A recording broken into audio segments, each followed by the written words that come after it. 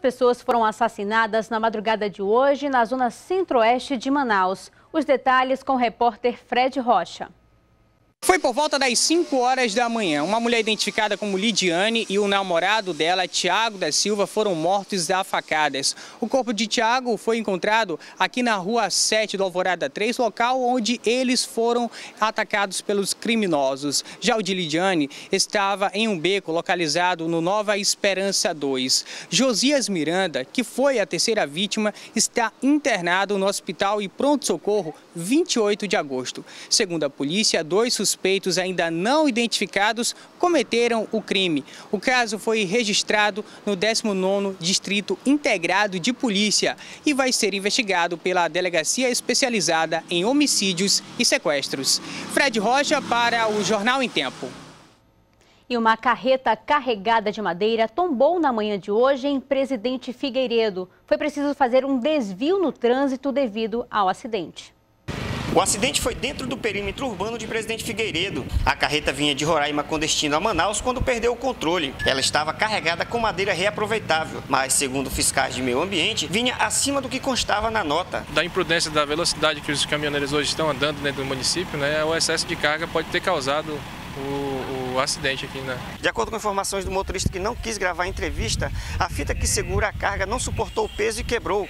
A carreta capotou em frente ao terminal rodoviário. No acidente, ninguém ficou ferido. O trânsito na BR-174 teve que ser desviado por dentro da cidade para evitar congestionamento. Trabalhadores do transporte rodoviário discutem aqui na capital problemas que afetam a categoria. Representantes de todos os estados da região norte participam.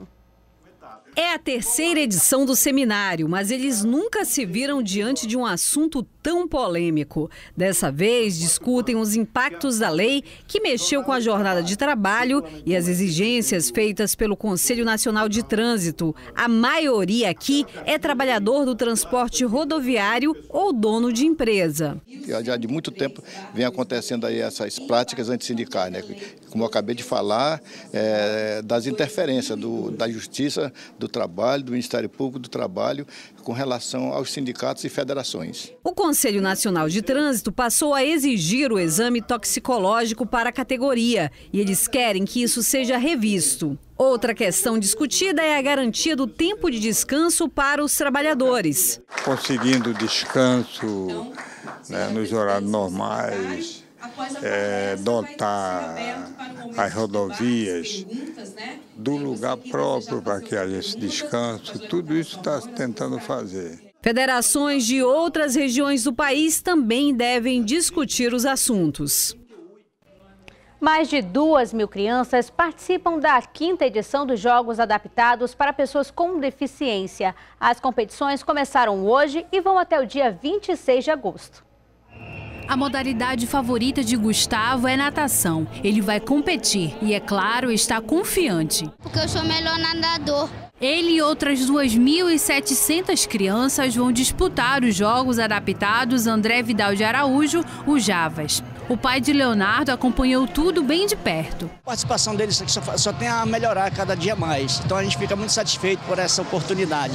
O Javas é o maior evento desportivo escolar de Manaus. Alunos de escolas particulares e públicas participam dos jogos. Ao todo, são 10 modalidades diferentes que são adaptadas para eles. É o momento da gente mostrar para a sociedade o que a gente já faz de verdade no nosso dia a dia a partir daquilo que essas crianças e esses adolescentes podem dar, mas, sobretudo, tentando conscientizar as pessoas de que o fato de ter uma ou outra limitação não as torna menor. Ao contrário, a gente tem como envolvê-las e elas podem servir muito à sociedade. As crianças vão ser acompanhadas por professores de educação física. Cerca de 30 estudantes da área passaram por capacitação para atuar durante a semana dos Jogos. O futsal, eles disputam entre eles, cada um dentro da sua deficiência, né? Tem a bocha que é feita para cada deficiência, né? Tem, tem os jogos aquáticos que é feito de acordo com a deficiência. A gente trabalha em cima da deficiência deles. As competições competições vão até o dia 26 deste mês e serão realizadas em três locais: no Centro de Convivência da Família Madalena Arcidal, no Complexo Municipal de Educação Especial e na UFAM.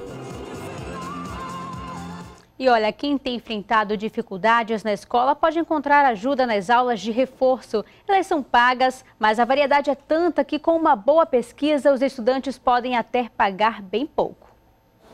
O segundo semestre do ano letivo tem um peso maior para os estudantes. A meta é conseguir recuperar as notas vermelhas e passar de ano. E nessa corrida contra o tempo, a procura pelas aulas de reforço aumenta em média 50%. Isso é um trabalho que é feito geralmente muito individualizado. Então a aula particular resolve.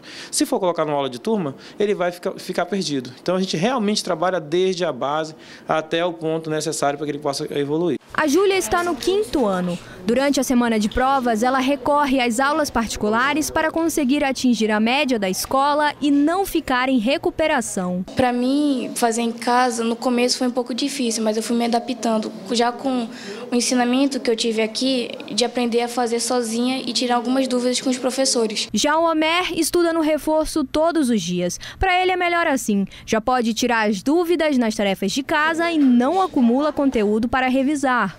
Na semana de provas, eu venho alguns dias antes, que normalmente não tem tarefa, e aí eu fico reforçando aquela matéria que eu tenho mais dificuldade, que atualmente é geografia. Mas, segundo esta pedagoga, cada aluno tem uma maneira própria de aprender. E a aula particular não deve ser vista como um recurso momentâneo, e sim como uma aliada ao ensino. Então, a nossa preocupação é, é fazer com que ele compreenda que ele precisa né, tirar boas notas, precisa aproveitar o tempo, porque ele tem um tempo né, para estudar aqui, já que ele passa o dia todo na escola, né, então a gente cuida para que ele aproveite esse tempo né, aqui no estudo para realmente focar nos estudos. O mercado está repleto de opções. Algumas escolas já oferecem o serviço, mas as casas especializadas são outra alternativa. Esta aqui é voltada para alunos do ensino fundamental. O investimento é cerca de 300 reais por mês. Bom, nós acompanhamos seis crianças por sala e são dois professores. Então, o professor ele acompanha individualmente cada aluno, né? Nós acompanhamos as agendas com as atividades diárias e na semana de prova o aluno tem um, um acompanhamento mais específico.